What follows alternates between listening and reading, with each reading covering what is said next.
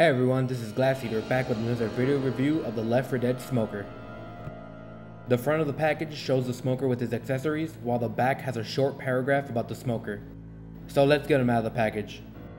So we have ourselves another nasty looking zombie from the Left 4 Dead series. It's a really good sculpt and the paint on him makes him always look slimy and dirty. The smoker is covered in an infection that makes him grow tongues all over his body. He uses them to pull his victim to him. They call him the smoker because he's constantly coughing from the gas the infection creates around him. Let's look at some of the detail.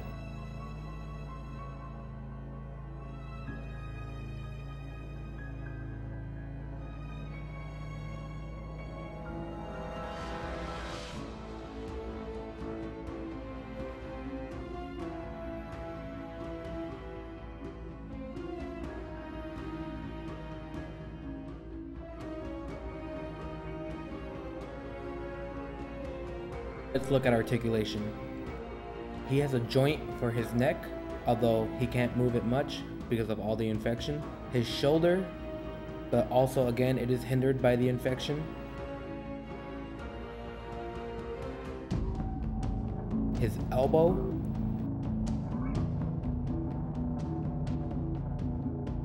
His wrist.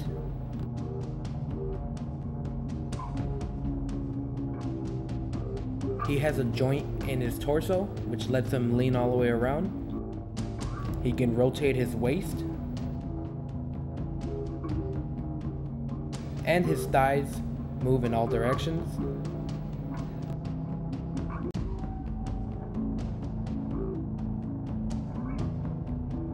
Now his pants and his t-shirt are made of a softer plastic, so you can bend them any way you want.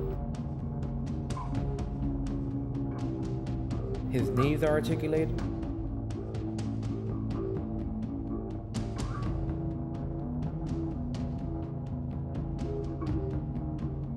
And finally, his ankles. Now the smoker comes with two tongues, a short and a long tongue. They both have a metal wire in them so you can bend them which way you want. And they are easily attached to the smoker's mouth with a peg.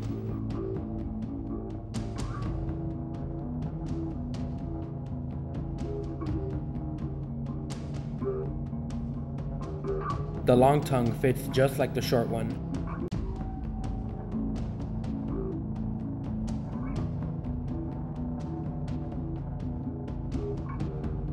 The smoker also comes with another tongue in the back of his head that also has a wire in it, allowing you to bend this one also.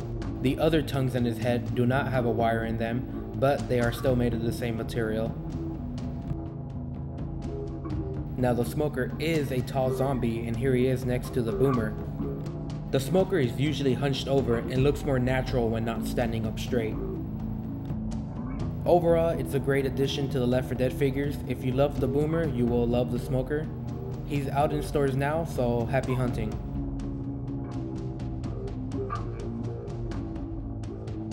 Thanks for watching.